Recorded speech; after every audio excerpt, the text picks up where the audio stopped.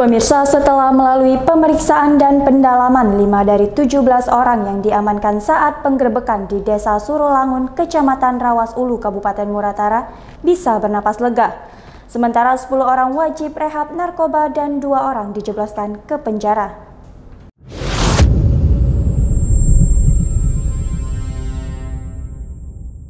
Dua dari 17 orang yang diamankan Polres Musi Rawas Utara dan Brimo Petanang saat penggerbekan di Desa Surolangun, Kecamatan Rawas Ulu, Kabupaten Musi Rawas Utara. Pada Sabtu lalu ditetapkan sebagai tersangka dan dijebloskan ke penjara. Satu tersangka atas nama Indra ditahan di Mapores Muratara atas kepemilikan senjata api rakitan dan narkotika.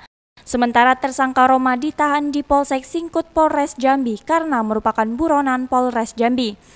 Polres Musirawas Utara juga menetapkan 10 orang wajib rehabilitas karena ke-10 orang tersebut yakni Ferdi, Gani, Budi, Beri, Sapriyadi, Auri, Maksum, Sabar, Endang, dan satu wanita atas nama Riza.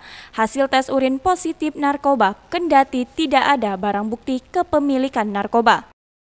Sementara lima orang lainnya dilepas karena hasil tes urin dinyatakan negatif dan tidak ada barang bukti narkoba dan kriminalitas lainnya.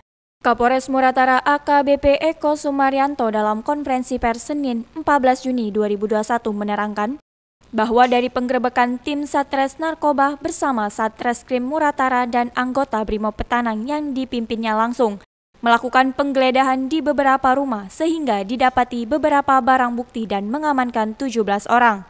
Kapolres juga menyampaikan bahwa untuk motor warga yang diamankan bisa diambil dengan syarat menunjukkan bukti kepemilikan yakni surat menyurat dan BPKB kendaraan.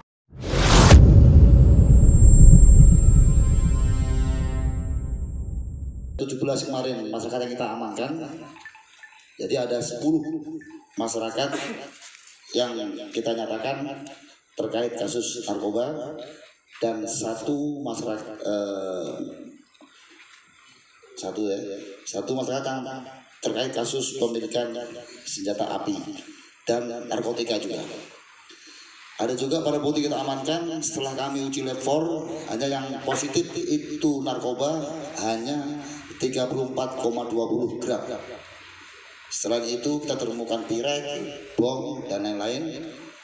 Dan juga kita amankan uang tunai sebesar 18 juta 400 ribu rupiah. Dan puluhan handphone berbagai jenis dan merek kurang lebih ada 50 ini handphone di sini dan terbukti maka kita kenakan pasal 114 112 Undang-Undang RI nomor 35 tahun 2009 tentang narkotika.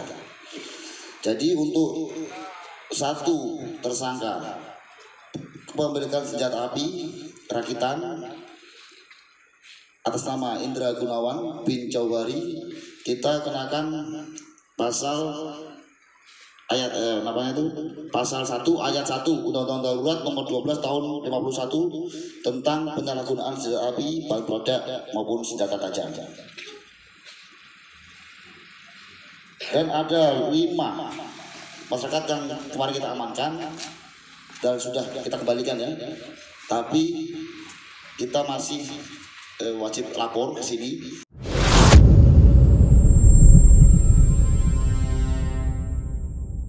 Dari Musirawas Utara, Elda Elian Linggau Streaming melaporkan.